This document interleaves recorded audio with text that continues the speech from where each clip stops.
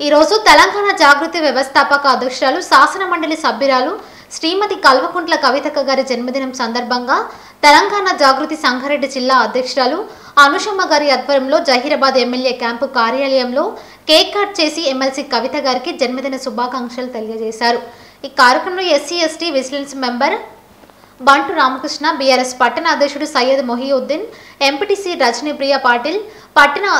మహిళా అధ్యక్షురాలు మంజుల వెంకట్ మాజీ జెడ్పీటీసీ మణిమ్మ సర్పంచ్ ఫోరం అధ్యక్షులు రవికిరణ్ మాజీ కౌన్సిలర్ బండి మోహన్ నాయకులు Israel Bobby Shivappa Tekamatla Ganesh David Rakesh Upender Raju Suresh Lavan Ravi మరియు మహిళా నాయకులు తదితరులు పాల్గొన్నారు.